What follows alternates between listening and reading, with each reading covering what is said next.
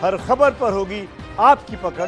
Download कीजिए ABP live app इस वक्त की बड़ी खबर नागपुर से आ रही है। मेयो अस्पताल से जिन चार संदिग्धों के खुद घर चले जाने की खबर आई थी, अब उसमें से तीन संदिग्ध अस्पताल में वापस आ गए हैं। एक मरीज़ अभी तक वापस नहीं आया है। इनका कोरोना वायरस का टेस्ट किया गया है, जिसकी रिपोर्ट आज शाम तक आनी है।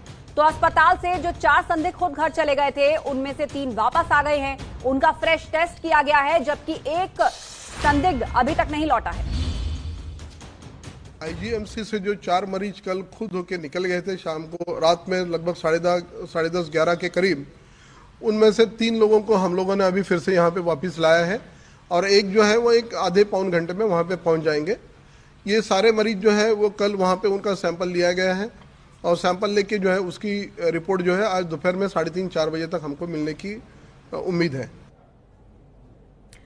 तो यहाँ सवाल अस्पताल प्रशासन पर उठे थे कि अगर सस्पेक्ट भी हैं तो वो घर कैसे चले गए? क्यों है एबीपी लाइव न्यूज़ लवर्स का फेवरेट वर्क डेडलाइंस में भी stay updated always so smart कि ये करे सिर्फ़ ब्लू टिक वाली न्यूज़ पिक जस्ट लाइक घर जैसा कंफर्ट है बेस्ट वैसे ही अपनी लैंग्वेज में न्यूज़ की फील है late any time food delivery के टाइम पर, मिलिए अपने फेवरेट एंकर से किसी भी टाइम एबीपी लाइव ऐप के साथ रहो सबसे आगे। डाउनलोड नाउ मैं शेखर कपूर लेके आ रहा हूँ।